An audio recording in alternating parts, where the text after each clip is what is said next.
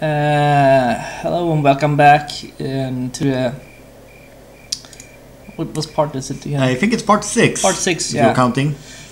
Let's check your house. It's. Ben's big adventure. Now Uh-huh. we need to find out where did Maureen go? Hmm. She's not here. No, and there seems to be no, no sort of clues there either. Nothing's really changed.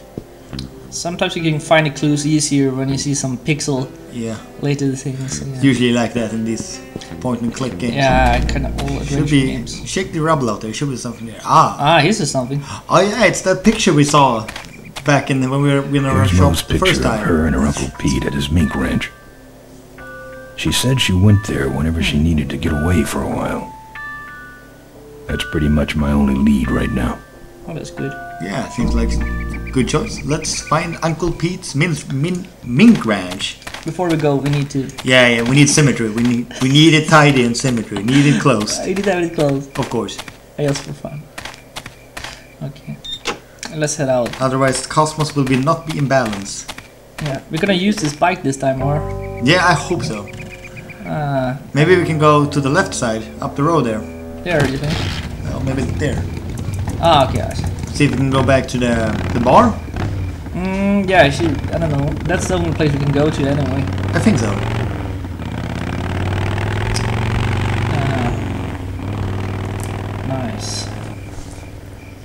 I'm happy to leave that junk town. Oh, we got a some sort of uh, Truck. truck here, Ooh. 18 wheeler or something. Yeah, looks big and heavy. Should I have a look at it, man? A semi truck. It's for fun. This sucker's mine. right. We need it. Okay, that's a clue, I guess. Yeah. Let's go inside first. Hey, killer. what? Hey, it's cool. Her secret's safe with me. What secret? Haven't you been watching the news? Once again, our top story tonight. Malcolm Corley, owner of Corley Motors, was found dead at a rest stop just outside the town of Melonweed. Apparently, the benevolent patriarch and CEO was viciously beaten about the head and neck. Savagely and without mercy. Doesn't Police have well. arrested a notorious outlaw takes the news biker gang known as the I like Polecats. No. Yeah. Mm. with the exception Looks like of their William leader, Shatner. who is Ah, yeah, still at large.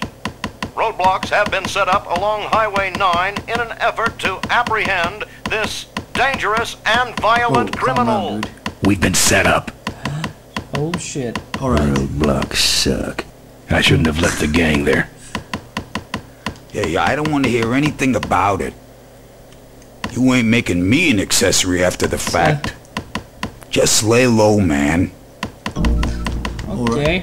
We seem to have a problem with a roadblock, I think so. and we need to get past. Maybe we can talk to this guy just because he's Yes. new here. He looks like a very friendly fellow with that knife. Seems you have a lot of time in your hands. Yeah. I can do that. Yeah, we cool. can ride I it. can do that. Not gonna happen. Ah, come on, be a pal. Let me show you how to do that. Yes, for sure. Not gonna happen. Ah, Stubborn bastard. I Let me show you how to do that. Not gonna happen. Okay. Okay. Let's see if you are. That's your track in front. That's your truck out front. I need a ride. I look like a cabbie to you. Very Get friendly guy. They're Come not on. letting anyone through that roadblock anyway. Not even truckers. They turned me around you got the and said roadblock. police Oh, business only. Yeah. Pigs. What should you say here, Eric? He doesn't seem like he, he would be cooperating. Maybe we need some sort of paper or something. Looks like we need something. More like a, I don't know. Uh, we, we can check to this you. guy out later. Yeah, later. let's go outside. Hey, I folks, feel- you get in Might here. be something outside. I think I remember we need to And go it's outside not with you first. calling I'm okay. Before we okay, go you're okay talk person. Ah, shut your hole, quahog. Quahog? Come on. Nice name.